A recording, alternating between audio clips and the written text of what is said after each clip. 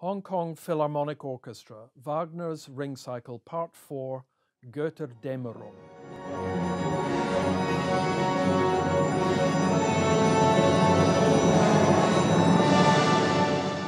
It's very difficult to follow something as monumental as that with just words. So I don't actually have too much to say. What an incredible performance. But Sue, I'd welcome your thoughts.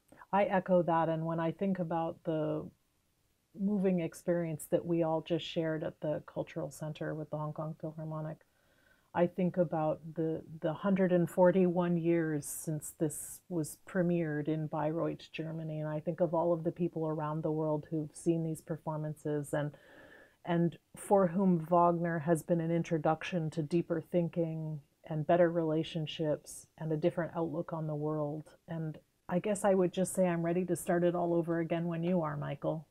Well, I'm up for it, but of course, we may have other plans. Oh. And uh, guess what's happening in the year 2020? I don't have my fortune teller ball in front of me, so uh, I'm at a loss here. I can tell you.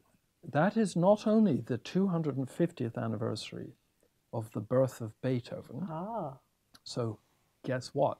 We might be doing in 2020 maybe something by Beethoven. Yeah, maybe an opera by Beethoven. Okay. Who knows? Uh huh. The but, Fifth Symphony? Uh, that will definitely do.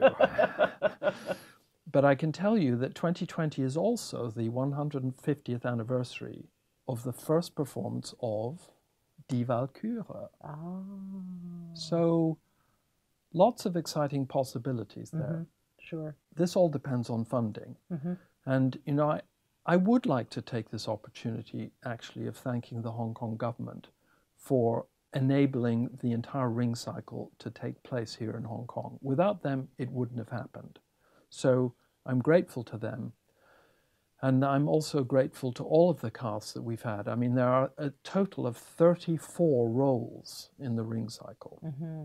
For some, we haven't used the same singers, but there's been a large consistency throughout.